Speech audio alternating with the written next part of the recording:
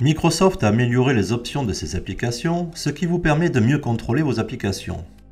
Dans cette courte vidéo, nous allons voir comment atteindre un nouveau paramètre de redémarrage application ajouté dans Windows 10 version 2004, paramètre modifiable à tout moment. Le paramètre pour redémarrer des applications est désactivé par défaut, mais il est assez simple à activer. Cliquez droit sur le menu Démarrer. Sélectionnez Paramètres. Enfin, cliquez sur Compte. Sélectionnez Options de connexion dans le bandeau de gauche. Recherchez la section Redémarrer des applications. Déplacez le bouton radio pour activer ou désactiver le paramètre.